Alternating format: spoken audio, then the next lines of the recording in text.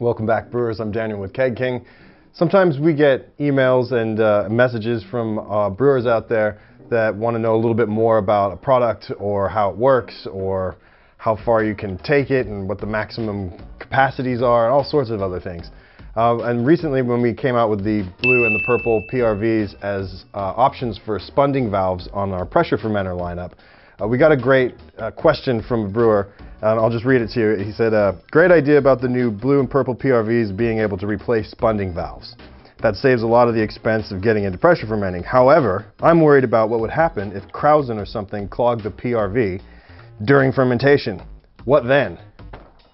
Well, that's a really good question. What then? We got really interested and decided, all right, time for another nutty experiment.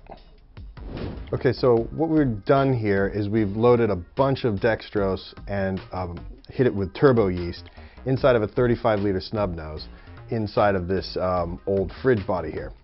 Um, we've now corked off the top of the PRV uh, so that it's just running into that gauge that you see there. That's that tubing. You'll actually see yeast moving up through the tubing and uh, it's probably going to kill that gauge at some point. But there was no other way to relieve pressure on this fermenter. So that gauge is basically hooked up to that PRV. You'll see the yeast moving through the line and everything. We started this on a Friday afternoon um, and uh, it was around 5 o'clock. So it went for about 19 hours. You can see it really starting to swell. Um, the tank is really holding in that pressure. Um, it was our expectation that it was probably going to blow off the lid uh, or explode or rupture the tank.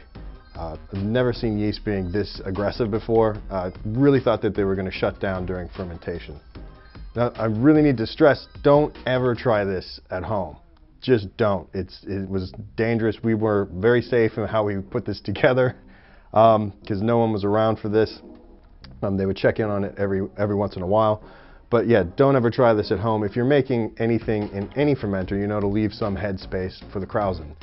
Um, so obviously this is under a lot of pressure right now. It's the next day, it's Saturday, um, and it goes until about uh, 12 o'clock when we're really gonna see where this thing fails. Now we know that these burst at around 8.5 bar, and we're now sitting somewhere close to 7.2, and you're gonna see the fail point happen just up here. Oh, they've moved the camera, yep. And kind of anticlimactic right there. You see where it just lost pressure. So what's actually happened is the lid uh, gave way, but it didn't blow off. It actually just blew the O-ring that sits in the neck and the collar that holds that O-ring and the whole lid assembly in place in the neck is actually still holding that and that's exactly what we want to see it do. So this is exactly why you would never want to go with any other type of PET fermenter other than a Keg King one the polymers of this plastic are fantastically strong and it's got to do with the process that we use to create them, which can't be replicated. So it's a really great outcome. We're really happy with the strength of the tanks and the performance of the lid and not blowing off and the collar to be able to hold it in place. Um, also really frightening about what turbo yeast does with sugar, so when you're making your hand sanitizer wash, be careful. Um, and also thanks to uh, Andy R. from Kilsyth for the question. If you have questions, you can join Keg King Connect and ask them there. You can also get in touch with us at info at keg-king.com.au. If you like the video, hit like and subscribe, and we'll see you next time, brewers. Thanks for watching.